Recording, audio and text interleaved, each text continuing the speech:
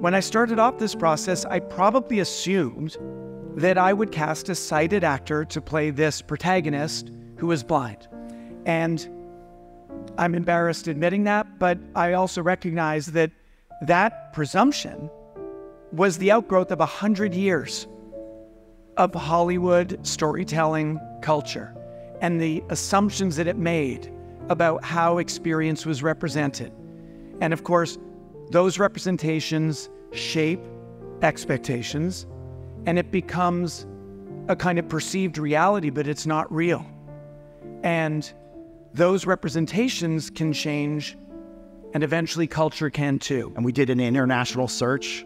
We saw thousands of auditions from around the world and we found someone special. The fact that the art of this drama really leans into the lived experience of blind people is what makes it so powerful. He said, I want you to be a creative partner, and I want to sit down and talk to you as an equal, and I want you to bring to this character what you want to bring to her. I am more of a casual Braille reader. Okay. I tend to scrub which yep. is something that I'm going to carry over to Marie because she didn't have training. Like a lot of kids today yeah, have a lot of training. Like some little kid will watch me read Braille on screen and know that it's real and it will change their life.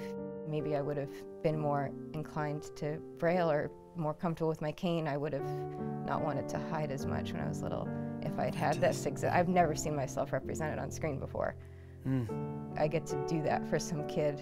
I knew that I needed to cast a girl and a young woman to play Marie, and I wanted that character's experience to be portrayed by someone who knew it in their bones, in their DNA and in having walked that road. It takes a person with very strong character to take a step back and say, you know what, maybe I've been thinking about this the wrong way.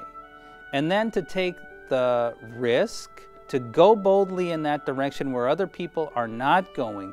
Shawn should really be celebrated and honored for that as an ally, but more importantly, for the impact that those decisions are going to have on his work and the works of others in the entertainment industry in the future. I knew that I was going to have to be Aria's teacher on the very steep learning curve of acting as the lead in a big Hollywood show. I expected that, but I didn't expect to be taught.